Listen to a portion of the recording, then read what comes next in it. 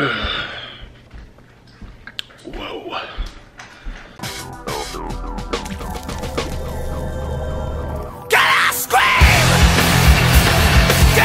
7.30 right now. I got to sleep in a little bit. As you can see, I got my uh, morning face going on.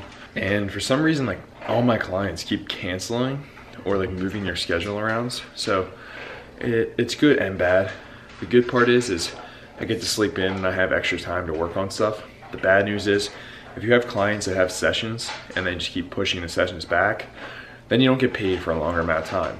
I'm just giving you guys the truth of being a personal trainer.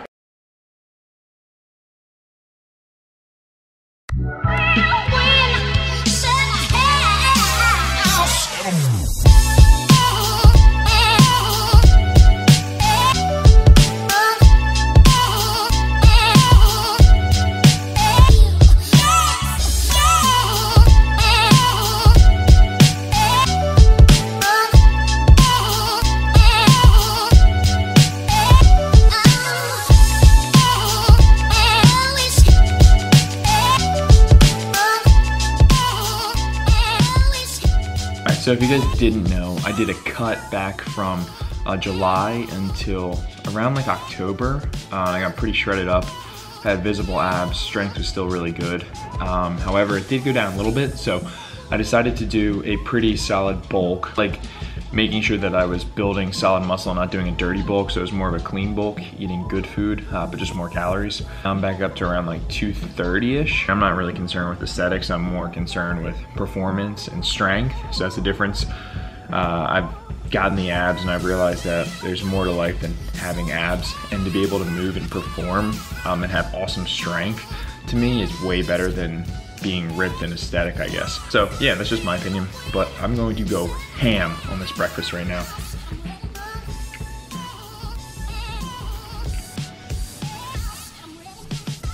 The workout rolling today, what we have on tap is front squats, three by five, uh, sumo or conventional deadlifts, power clean plus strict press, uh, dumbbell rows, dumbbell side raises, dumbbell bent over uh, side raises, and that's about it. So we'll bang that out, get a nice pump, get some strength work in, and call it a day.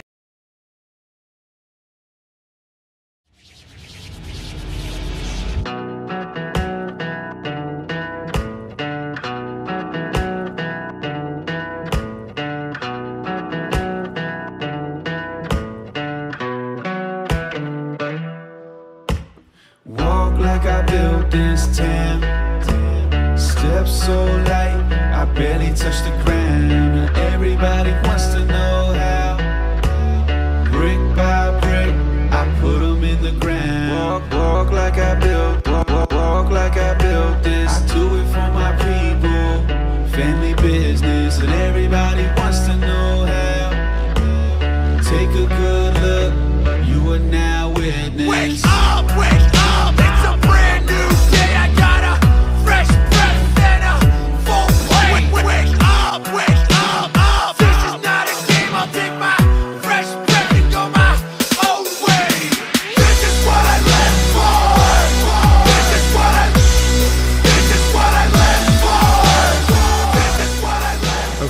now moving on to deadlifts. The difference between bodybuilding and strength programming is strength programming usually involves full body movements.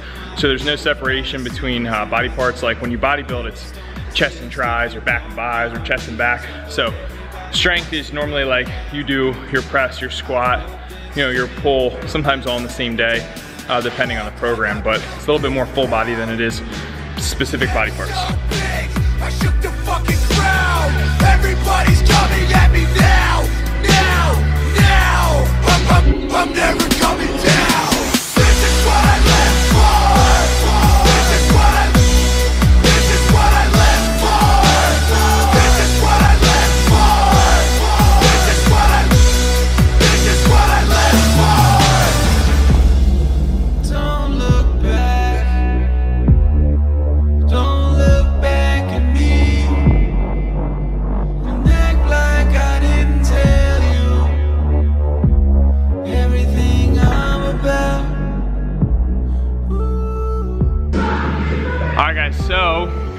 deadlifts, Make sure that you always hold your breath through the movements. The moment you breathe during a deadlift is the moment that your spine isn't supported and you're gonna crumble. So every time I do the deadlift, take a big deep breath, hit my reps, and then drop the bar.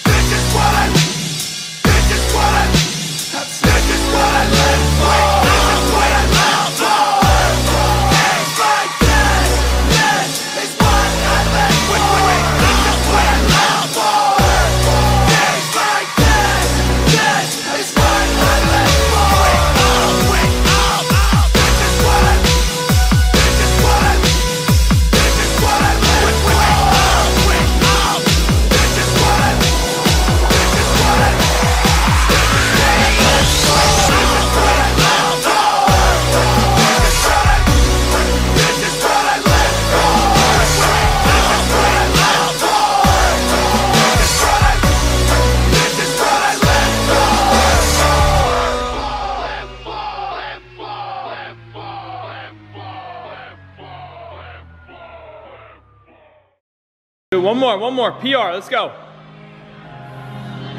Up, up, up. Squeeze your butt, squeeze your butt. Push, push, push, push, push, push, push.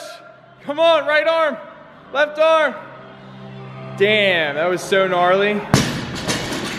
That is how you fight for a PR, folks.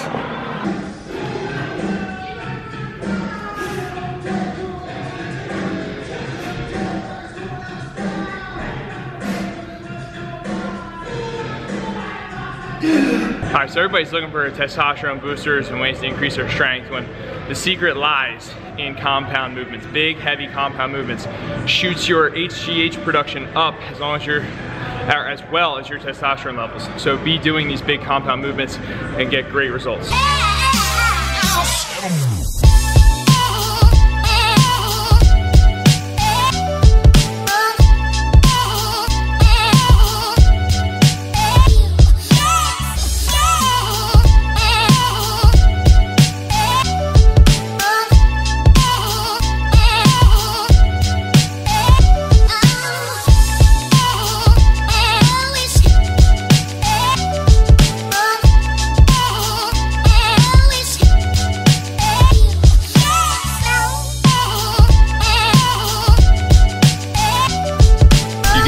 Watched uh, vlogs like one through three, you know I have a history of getting stuck behind buses.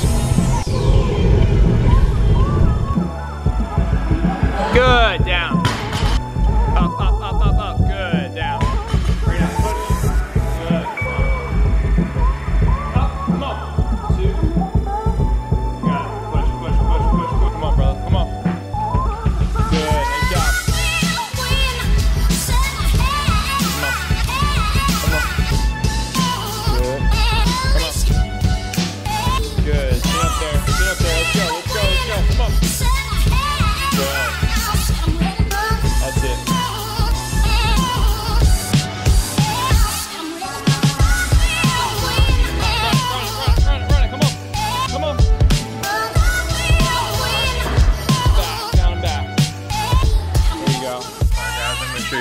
Really good, delicious, healthy way to make a taco.